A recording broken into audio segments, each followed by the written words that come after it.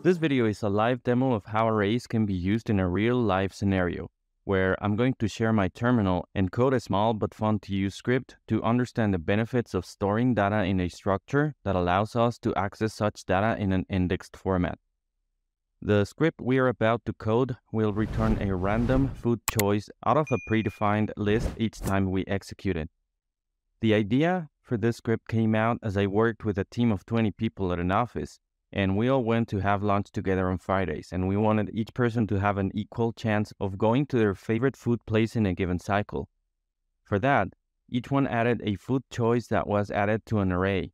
Then we created a small script in Bash that selected an array index randomly to print one single food option to the terminal each time the script got executed. So in this script, we'll be doing something similar, and every time a food option gets printed, we should discard it so the random index selector in the script doesn't pick it up again and again. This way, we give an equal chance for each food to eventually come out.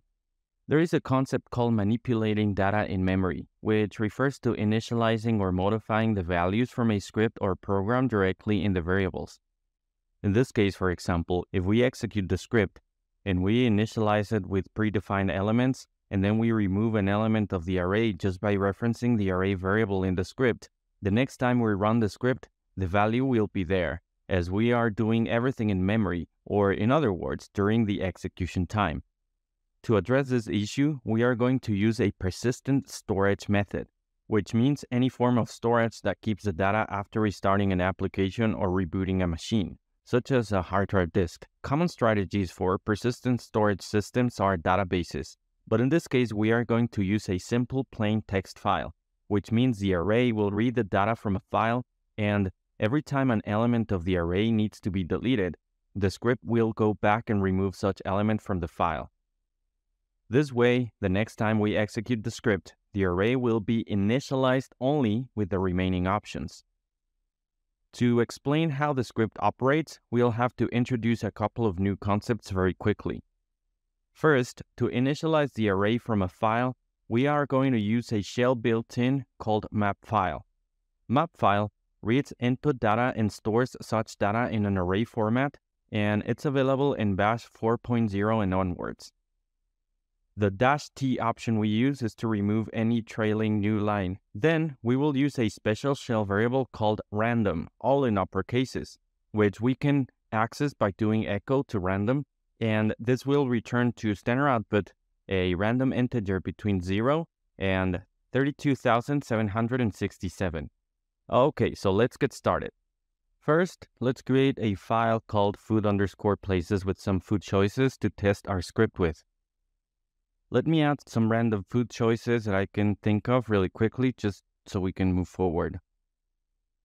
Okay, now let's create a script called lunch underscore selector dot sh using Vim. So the second thing I'm going to do is I'm going to use two Vim commands. So for that, I'm going to type a colon first and then set number and hit enter. And this is to display the line numbers in the file. And then I'm going to use colon and then syntax on and I'll hit enter. And this is to highlight the code syntax, which you'll see very soon. Okay, so the third thing we'll do is use declare-a to declare an array variable called lunch options. This will store the food choices that we'll be accessing each time the script gets executed. Now I'm going to declare a few additional variables such as the work underscore dir, which is a good practice as it works as an anchor in case we need to traverse multiple directories as we'll always have a way to go back to the directory where the script is located. So to assign a value to work underscore dir, we are going to use the readlink command and the special shell variable 0, which will return the absolute path of the directory where our script is located. Uh, all of this is just for a good practice. I'm accustomed to doing this in almost every script I write. Alright, so now I'm going to declare the food places variable that will reference a file name with the contents of the different food choices we want to use. See how I'm using the work underscore dir variable to express explicitly that the food places file should be located in the same directory as the script. Now I'm going to create a terminate function to handle events that result in having to terminate the script with a non-zero exit status. A good practice for the terminate function is to use local variables by using the local modifier, and then the dash r that I'm adding is for read only. This is just for a good practice and style, but I recommend you to follow the same principles. Observe how the code variable, which will have the value of an exit code that I'll pass, uses a default parameter expansion so that if no value is passed, we will default to an exit code of 150. Now that I have a variable message, I'm going to redirect it to file descriptor 2, as it should be treated as standard error. At the end, I use exit followed by the code variable, which holds the value of the exit code we'll terminate our script with. The reason why I'm creating this terminate function is because I want to add a quick guard clause statement here in case the food underscore places.txt doesn't exist, so we can exit the script with a meaningful error message. For this, we are going to create an if statement that will evaluate to true if the food underscore places.txt doesn't exist, for which we are going to call the terminate function with a message and an exit code of 150. All right, now that we have most of the basic script structure that follows the good practices we've learned throughout this course, let's actually code the behavior. For this, I'm going to use functions for the most part. So let me create a function called fillout underscore array, which will have the map file.t command that we talked about earlier. Using this command is going to initialize the lunch options array variable by passing an input to the array with the contents of the food underscore places.txt as the value of the array's variable. Alright, so now let's call the function here and just below, I'm going to add an echo command to expand the array variable to verify that this is actually working correctly. Let me save and close this to execute the script really quickly. Okay, so the fillout array function is working fine. Now what's next is to add an if statement to finish with an error if the food underscore places.txt happen to be empty. Because in the next pieces of code, we will be assuming lunch underscore options array variable will be initialized with the contents of the .txt file.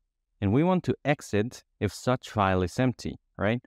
So for this, I'm going to use an array length expansion technique to count the elements of the array by placing a hash symbol before the name of the array variable, and then the at symbol inside the square brackets to access all elements. Inside the if statements, I'm going to add a call to the terminate function with a meaningful error message and a custom exit code. Now, let's try this with no data in the food underscore places.txt to see if this is working fine. To quickly remove all of the elements in the food underscore places.txt, we have two quick options. One is by using Vim. So I'm going to do that right now and then I'll show you the other one later in the script. So if I open the file using Vim and then I type a colon followed by a number one, then a comma, followed by a dollar symbol and the D character, and then I press enter, all the elements of the file will be deleted. So to save, I'll just type colon and then W and Q characters, which means write and quit. I'll teach you the other technique as we progress with the script, as we'll need our script to actually do something similar at some point. Alright, so I'm going to open the script again using Vim. And now that I'm thinking about it, I'm going to declare a constant exit code for whenever the lunch options array has zero elements and for whenever the food underscore places.txt file doesn't exist. Let me just uh, pass a constant instead of the hard-coded numbers we have in the if statements we just created. All right, so this is a step up in style. We have three things left to do, I believe. First, let's create a variable called index, which will be a random number to access each array element. For this, we are going to use an arithmetic expansion with a random special shell variable. we are going to use a technique to create random integer values based on the number of elements in the array by using the percent symbol, which works as a modulo operator. Now we are going to print a random element to see if this worked. So let me save and close the script and I'll execute it really quickly. Okay, so here I'm executing the script multiple times to verify that each time I run it, a random element is being returned.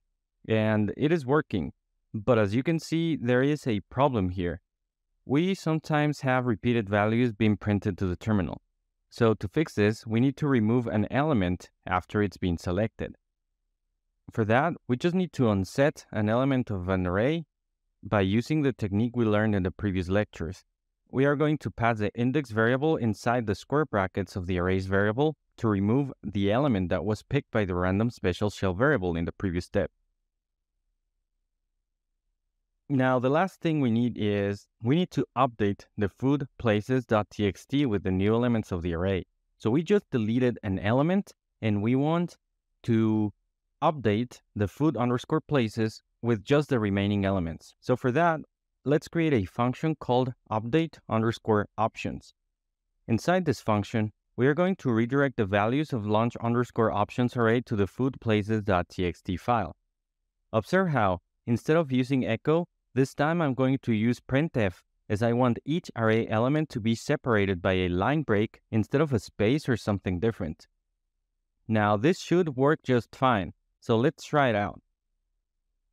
Okay, so we can see how this is effectively picking a random element each time and removing it from the file. But after the file is empty, we get to standard output an empty space just here. What's happening is that when the array is empty, we redirect a line break to the file. So each time we run the script, mapfile-t initializes the array with an empty string value, which we keep redirecting to the file at the end. Instead of this, we'd like to make sure the file gets truncated after we finish going through all of the options, similar to what we did when we deleted the values from the food places using Vim, but this time, we'll use a greater than redirection symbol. To do this, let's modify the update options function to include an if statement. When the array is empty, which means that the number of elements is equal to zero, then we will use a single greater than symbol with a no output command to the left to redirect nothing to the food underscore places.txt file. On the else portion, we will keep the previous printf command that helps us update the food places file with the remaining array elements. In this particular case, we need to use an else statement as we don't want both redirections to run. We want either one or the other. Okay, so let me save the script and I'll execute it, see what happens. Upon executing the script multiple times, we see how it returns different values each time. And after we run out of options, a message saying no food options left is printed to the terminal. So that is it for this demo. I hope you enjoyed this exercise.